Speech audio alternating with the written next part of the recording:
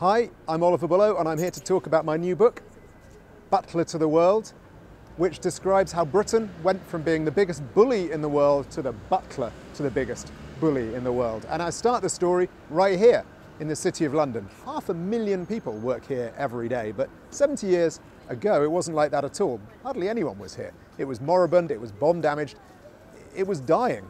And the reason for that was, after World War II, governments put strict controls on the movement of money to prevent wealthy people being able to escape democratic scrutiny. They'd been very worried by fascism and wanted to make sure nothing like that could ever happen again. And that was kind of annoying for bankers and it was kind of annoying for their wealthy clients. So, in order to get around those controls, the bankers right here in London came up with a solution that didn't really make any sense. Now, in order to demonstrate that, I want you to imagine this bag of white powder is illegal.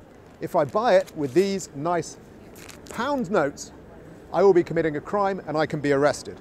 What the bankers discovered was that if instead of using pound notes to buy it, they use these nice green dollar bills, suddenly all the restrictions fell away and they could do whatever they liked. And the reason they could do whatever they liked is that these people behind me in the Bank of England, frankly, they let them. They didn't like the restrictions on money anyway. They wanted to get back in the money moving game. So they allowed the creation of this thing that the bankers called offshore.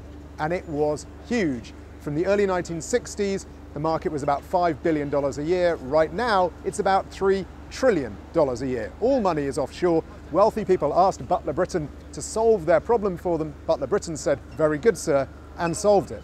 But once you've solved one problem, there's often another one. So the second problem was how could these wealthy people move the money without being noticed? How could they do it anonymously without scrutiny? Well, we're going to go to Harley Street now and we'll find out how Butler Britain sorted that problem for them.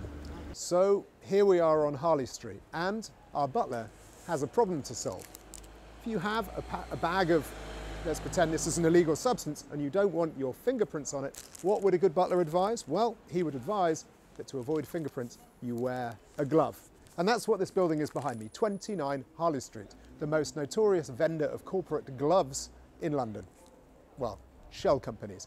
This is where the company belonging to the former president of Ukraine was based. Uh, fraudsters, tax dodgers, you name it, they all had companies right here. In its pomp, there were 2, more than 2,000 companies registered at 29 Harley Street. Sadly, now, as you can see, it's a building site, it's out of business. There are still weirdly 66 companies registered here. I think that's an oversight. But why has it been driven out of business? It certainly wasn't anything to do with a police operation or any kind of regulatory crackdown. It was because it got embarrassed by being exposed by journalists like me.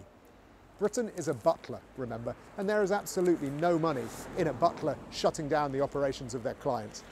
And where we're going next, we're going to see quite how incoherent and fractured Britain's regulatory environment is and how easy, as a result, we make it for our wealthy and powerful clients to do whatever it is that they like. Very good, sir.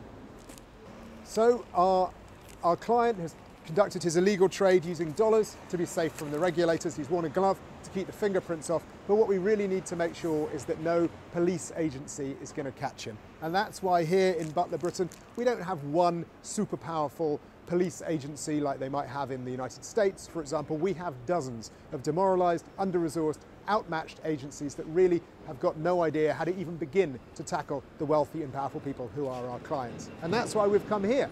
This rather lovely building behind me is home to the faculty office of the Archbishop of Canterbury, and improbably, this is one of our two dozen anti-money laundering agencies. It is in charge of a branch of the legal profession, notaries, and has been since the 16th century because of the deal cooked up to allow Henry VIII to get a divorce. And it's pretty clear, if that's the basis on which we choose our money laundering agencies, that this isn't a task we're taking seriously.